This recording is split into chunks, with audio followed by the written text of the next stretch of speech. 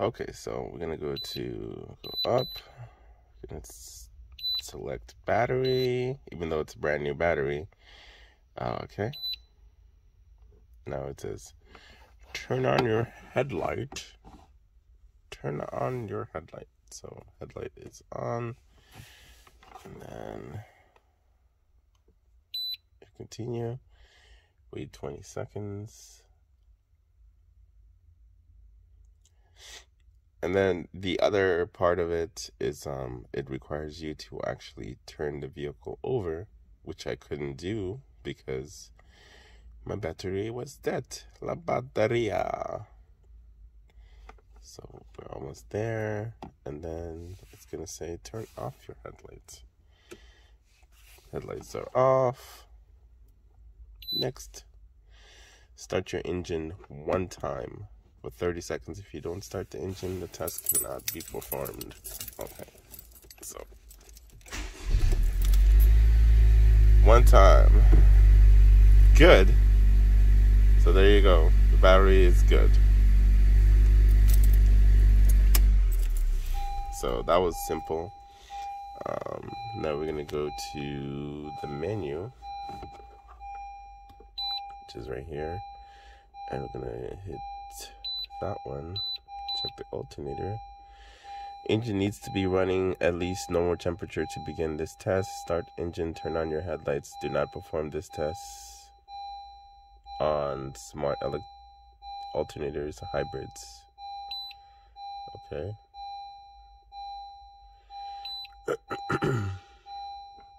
so we're gonna turn the vehicle on and let it run for a bit.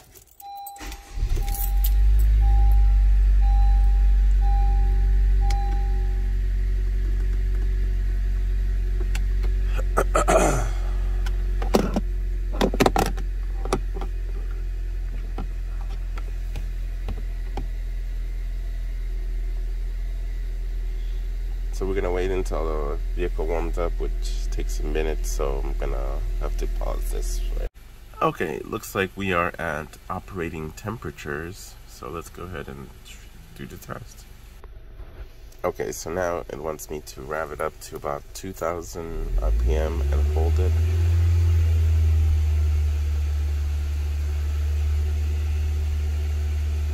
You can go a little over, it's fine as long as it's just over 2000 and if you drop lower than that the car will um it will say hey stop it. Go higher. Let's just turn off the headlights. So my alternator is good. Charging voltage within specification. So 14.57 volts. So alternator is good so yeah, which I knew my alternator was good. It was just the battery was shot for some reason. I mean, it, it is a six year or whatever, five and a half year battery. But anyway, now you know. Um, now this scan tool also has like a bunch of different things that you can do with it. Um, especially if you're buying a car and you want to go make sure that they didn't reset the lights. Um, let me see here. So if you go to um, drive cycle procedures, oops. So if you go to complete monitors, so this is pretty much everything.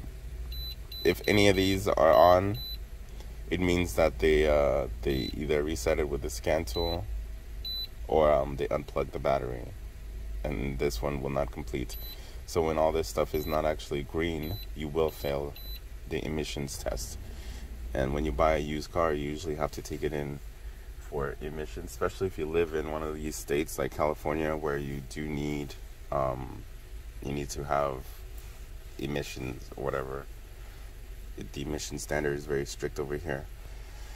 So when you're buying a car, have your scan tool or take it to a mechanic to scan the the ECU. Make sure there's no codes. Um, otherwise, you know, you got to deal with it anyways, that's the video. I hope you enjoyed it. Make sure to like and subscribe and uh, have a good one. I'm out.